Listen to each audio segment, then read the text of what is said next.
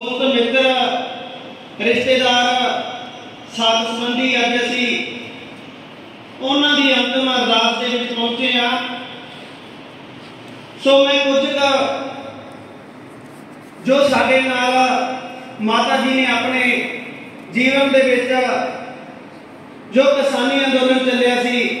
ਉਹ ਤੁਹਾਡੇ ਨਾਲ ਗੱਲਾਂ ਸਾਂਝੀਆਂ ਕਰਨੀਆਂ ਨੇ। ਕਿਉਂਕਿ ਮਾਤਾ ਜੀ ਦਾ ਆਪਣੀ ਜ਼ਿੰਦਗੀ ਦੇ ਵਿੱਚੋਂ ਬਹੁਤ ਹੀ ਵੱਡਾ ਯੋਗਦਾਨ ਜੋ ਸੈਂਟਰ ਦੀ ਮੋਦੀ ਸਰਕਾਰ ਨੇ ਕਾਲੇ ਕਾਨੂੰਨ ਸਾਡੇ ਕਿਸਾਨਾਂ ਤੇ ਮਜ਼ਦੂਰਾਂ ਦੇ ਉੱਪਰ ਲੈ ਕੇ ਆਈ ਸੀ, ਉਸ ਦੇ ਵਿੱਚ ਇੱਕ ਬਹੁਤ ਵੱਡਾ ਯੋਗਦਾਨ ਪਾਇਆ ਮਾਤਾ ਜੀ ਨੇ। ਕਿਉਂਕਿ ਆਪਾਂ ਪਰਿਵਾਰ ਦੇ ਲਈ ਆਪਣੇ ਬੱਚਿਆਂ ਨੂੰ ਪਾਲਣ ਪੋਸ਼ਣ ਦੇ ਵਿੱਚ ਉਹਨਾਂ ਨੂੰ ਉੱਚ ਦਰਜੇ ਦੇ ਉੱਪਰ ਅਤੇ ਪੜ੍ਹਾ ਲਿਖਾ ਕੇ ਹਰ ਇੱਕ ਪਰਿਵਾਰ ਮਾਤਾ ਪਿਤਾ ਦਾ ਫਰਜ਼ ਹੁੰਦਾ, ਉਹ ਆਪਣੀ ਜ਼ਿੰਮੇਵਾਰੀ ਨਿਭਾਉਂਦੀ ਆ। ਉਸ ਦੇ ਨਾਲ ਨਾਲ ਸਾਡੇ ਮਾਤਾ ਜੀ ਨੇ ਜੋ ਸੰਘਰਸ਼ ਚੱਲਿਆ,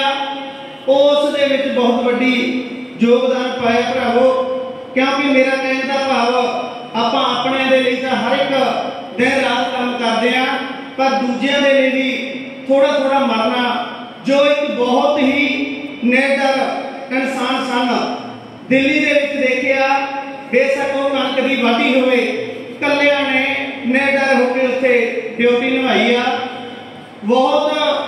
ਵੱਡੇ ਭਾਗਾਂ ਵਾਲੇ ਸਨ ਅਤੇ ਭਾਰਤੀ ਕਿਸਾਨ ਯੂਨੀਅਨ ਏਕਤਾ ਗ੍ਰਹਿਣ ਵੱਲੋਂ, ਸਮੁੱਚੀ ਲੀਡਰ ਟੀਮ ਵੱਲੋਂ ਅਸੀਂ ਮਾਤਾ ਜੀ ਨੂੰ ਫੁੱਲ ਭੇਟ ਕਰਦੇ ਹਾਂ ਸਾਦਾ ਦੇ ਫੁੱਲ ਭੇਟ ਕਰਦੇ ਹਾਂ। ਸੋ ਸਾਡੇ ਆਗੂ ਸਹਿਬਾਨ, ਇੱਥੇ ਪਹੁੰਚੇ ਨੇ ਭਾਰਤੀ ਕਿਸਾਨ ਯੂਨੀਅਨ ਏਕਤਾ ਗ੍ਰਹਿਣ ਵੱਲੋਂ ਬਲਾਕ ਪ੍ਰਧਾਨ ਹਰਮਨ ਸਿੰਘ ਜੀ ਲੱਡਾ, ਕਰਮਜੀਤ ਸਿੰਘ ਜੀ, ਬੇਨੜਾ, ਮਨਜੀਤ ਸਿੰਘ ਜੀ ਜਹਾਂਗੀਰ ਬਲਾਕ ਖਜ਼ਾਨਚੀ ਬਾਬੂ ਸਿੰਘ ਜੀ ਪ੍ਰਧਾਨ ਮਲੋਵਾਲ ਸੋ ਮੈਂ ਜ਼ਿਆਦਾ ਸਮਾਂ ਨਾ ਲੈਂਦਾ ਹੋਇਆ, ਸਾਡੇ ਜ਼ਿਲ੍ਹੇ ਦੇ ਆਗੂ ਕਿਰਪਾਲ ਸਿੰਘ ਜੀ ਪੇਦਨੀ ਨੂੰ ਬੇਨਤੀ ਕਰਦਾ ਜੀ ਉਹ ਦੋ ਸ਼ਬਦ ਮਾਤਾ ਜੀ ਦੇ ਨਿਮਿਤ ਬੋਲਣ ਦੀ ਕਿਰਪਾਲਤਾ ਕਰਨਾ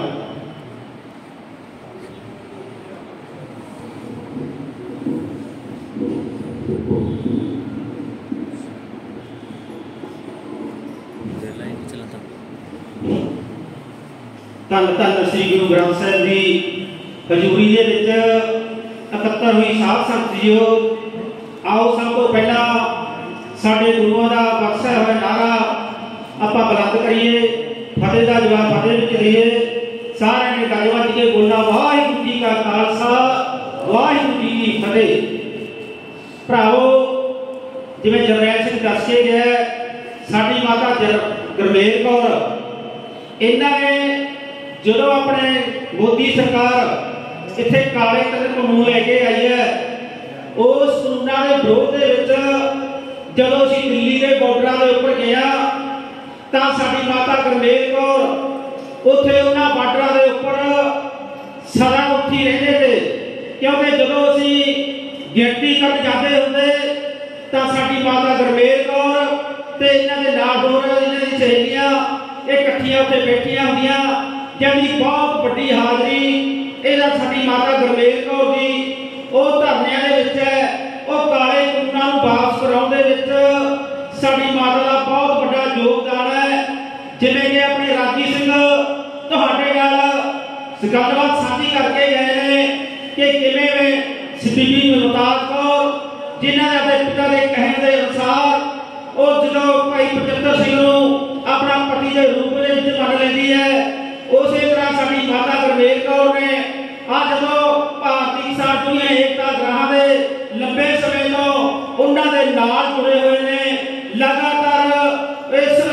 ਸੰਘਰਸ਼ੀ ਦੇ ਵਿੱਚ ਸੰਘਰਸ਼ੀ ਪਿੜਾਂ ਦੇ ਵਿੱਚ ਲਗਾਤਾਰ ਰਹਿੰਦੇ ਨੇ। ਇਸੇ ਦੀ ਇਹ ਸਾਡੀ ਮਾਤਾ ਦਾ ਬਹੁਤ ਵੱਡੀ ਕੁਰਬਾਨੀ ਹੈ। ਅਸੀਂ ਤਾਂ ਇਹ ਕਹਿੰਦੇ ਇਹੋ ਜਿਹੀਆਂ ਮਾਤਾ ਸਾਡੀਆਂ ਘਰ ਘਰ ਹੋਣੀਆਂ ਚਾਹੀਦੀਆਂ ਨੇ, ਕਿਉਂਕਿ ਸਾਡੀ ਮਾਤਾ ਨੇ ਆਪਣੇ ਬੱਚਿਆਂ ਖਾਤਰ ਵੀ ਬਹੁਤ ਵੱਡਾ ਭਰਾਵੋ ਕੰਮ ਕੀਤਾ ਔਰ ਉਹਨਾਂ ਦੇ ਵਾਸਤੇ ਕੰਮ ਕਰਕੇ ਔਰ ਲੋਕਾਂ ਵਾਸਤੇ ਵੀ ਦੇਖੋ ਕਿਵੇਂ ਸੰਘਰਸ਼ਾਂ ਉੱਥੇ ਦਿੱਲੀ ਦੇ ਬਾਰਡਰਾਂ ਦੇ ਉੱਪਰ ਬਹਿ ਕੇ ਉਹ ਜਿਹੜੇ ਕਾਲੇ ਕਾਨੂੰਨ ਤੇ ਉਹ ਮੋਦੀ ਸਰਕਾਰ ਲੈ ਕੇ ਆਏਗੀ ਭਰਾਵੋ, ਉਹ ਕਾਨੂੰਨਾਂ ਨੂੰ ਵਾਪਸ ਕਰਾਉਣ ਦੇ ਵਿੱਚ ਸਾਡੀ ਮਾਤਾ ਗੁਰਮੇਲ